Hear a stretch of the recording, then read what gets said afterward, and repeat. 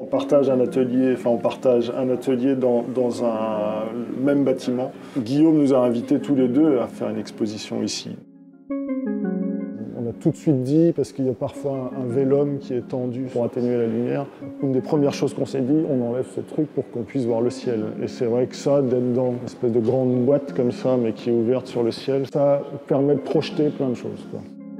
Pour cet endroit, je voulais euh, créer une sorte d'île et du coup, j'avais cette proposition du métal, qui, oui, elle est, c'est lourd comme matière, mais ce que j'aimais bien, c'est que j'ai pris le métal tout fine, que quand le soude ou quand il y a des touches de chaleur, ça se gondole. Cette idée de, de, de, liquide où ça s'envoie la lumière partout, c'était d'essayer de trouver un, endroit euh, comme une petite île ou un désert, une île désert ou un endroit de, réflexion avec des objets domestiques, comme si c'était un endroit d'habitation mais un peu absurde.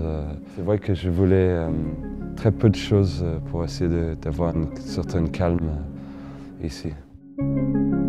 La série d'expositions que Guillaume Desanges euh, organise s'appelle Poésie balistique. Dans ce sens-là, il a parlé beaucoup de, du monde tertiaire, d'un rapport au réel, à l'entreprise et avec une espèce de déviance poétique, disons, qu'on pourrait appeler ça comme ça. Beaucoup des choses que je présente ici euh, ont à voir avec cette idée un peu euh, quelque chose qu'on pourrait rapprocher d'une manière ou d'une autre à des formes architecturales ou à des formes euh, bureaucratiques peut-être qui en même temps dérivent vers quelque chose.